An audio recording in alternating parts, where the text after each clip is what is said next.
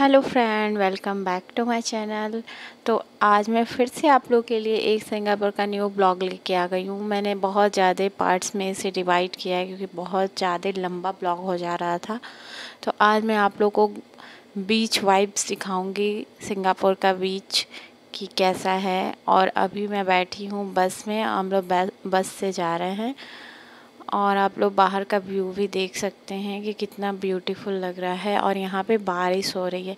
यहाँ पे कभी भी बारिश हो सकती है। तो यहाँ पे इस मौसम का कोई ठीक नहीं होता है। कभी बारिश होती है, कभी धूप होती है। तो यहाँ पे बारिश शुरू हो गई है और अभी हम लोग बस में हैं और हवा चल रही है इतनी ठंडी ठंडी, मस्त वाली। और यहाँ पे देखिए, यहाँ पे वहाँ के जो लोकल लोग हैं, वो भी बैठे हुए हैं। तो हम लोग बीच पे पहुँच गए हैं और आप लोग देखिए बीच कैसा लग रहा है। अभी हम बस पे ही हैं और ये बस स्टॉप है वहाँ का और यहाँ पे बीच वाइब्स हमें बहुत दूर से ही दिखाई दे रही थी और ये अक्षित इतना ज़्यादा परेशान था बीच पे जाने के लिए और हमें कुछ भी नहीं पता था कि बीच पे मतलब ये अम्ब्रेला वगैरह लेके जाने है क्योंकि बारिश कभी भी होती रहती है। तो अगर आप लोग भी यहाँ आएँ, सिंगापुर बीच पे जाएँ तो अम्ब्रेला अपना कॉस्ट्यूम जो होता है पोंचो बोलते हैं, वो लें। और ये एक झूला देखिए आप लोग। इसे क्या बोलते हैं? अगर आप लोग को इसका नाम पता है तो कमेंट में बताएँ मुझे।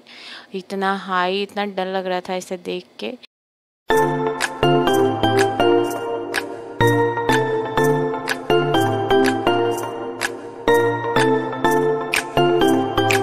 देखिए फाइनली यशु का फेवरेट बीच है। तो हम लोग बीच पे आ चुके हैं। और देखिए पानी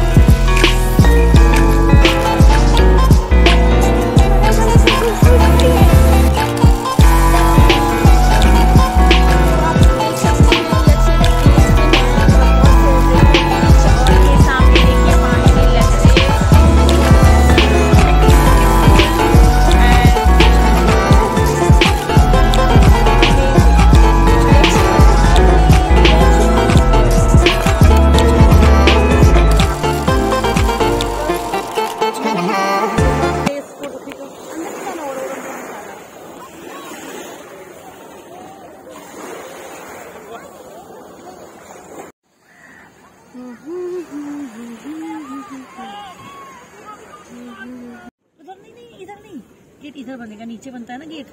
ऊपर थोड़ा बनता है। आ जाओ हाउस बनाते हैं अपना।